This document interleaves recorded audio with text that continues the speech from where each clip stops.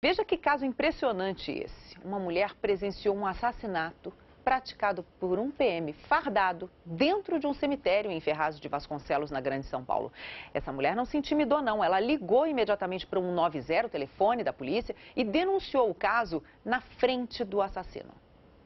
Felipe Damel, 5 anos de polícia. Ailton Vital, 18 de profissão. Dois policiais conhecidos na corporação pela boa conduta e pelas prisões em flagrante. Até então. Na tarde de 12 de março, um sábado, os dois contam que faziam ronda na zona leste de São Paulo quando interceptaram um furgão que acabava de ser roubado.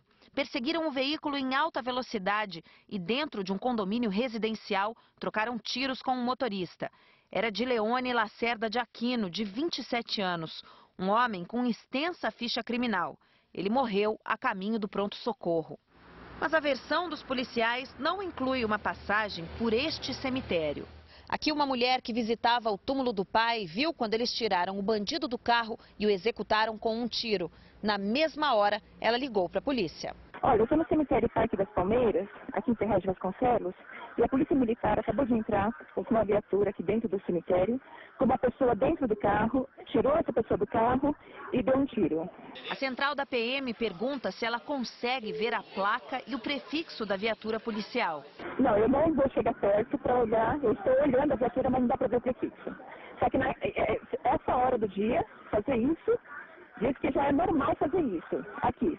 Domingo é normal eu assistir isso. Eu estou no cemitério das Palmeiras, a viatura está parada para ali. O carro dos policiais parte em direção à saída do cemitério. Espera só um pouquinho que eles vão passar por mim agora. Tudo bem. Espero que não me matem também, né? A placa é DJL0451. O prefixo é 29411. M 29411. O carro para e um dos policiais se aproxima. Eu não sei por que ele está vindo agora. Tem um PM vindo na nossa direção. Mas a mulher não se intimida e enfrenta o policial. Desculpa, senhor, o senhor que estava naquela viatura? O senhor que efetuou o disparo ali? É o senhor que tirou uma pessoa de dentro? Ali é próximo de onde nós estávamos. Eu estou falando com a polícia militar. Eu estou correndo rapaz. Você está se correndo? Meu senhor, olha bem para minha cara. Eu não sabe o que pode ser. Ele falou que estava socorrendo. Mentira. É mentira, senhor, é mentira. Eu não quero conversar com o senhor. E o senhor sabe o que o senhor faz. O senhor tem a consciência do senhor. Uma pessoa ao lado da testemunha se preocupa. Não vou me complicar, vou complicar com você. Ele está dizendo que estava socorrendo. Ele entrou dentro do, do cemitério. A mulher que ligou para a polícia está num programa de proteção a testemunhas. Os policiais estão presos e esperam decisão da justiça comum. Ainda não se sabe qual deles deu o tiro que matou o assaltante. Não dá para saber. Uma vez que a, o projétil ficou alojado no corpo da vítima, isso vai ter no futuro, a gente vai saber efetivamente quem efetuou o disparo.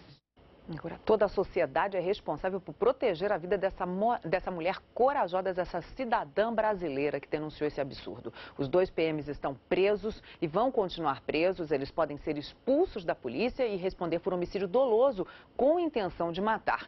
E a pena, Renata, vai de 12 a 30 anos de prisão. Pois é, Carlos, o caso dessa mulher é exemplar, não só pela atitude cidadã e pela coragem né, em denunciar naquele momento, né, o testemunhar um crime, mas também deve ser exemplar na segurança que o Estado deve fazer agora, deve zelar pela segurança a partir de agora dela. Renata, né, a gente sente orgulho de ser brasileiro como ela. A sociedade tem que estar vigilante a isso.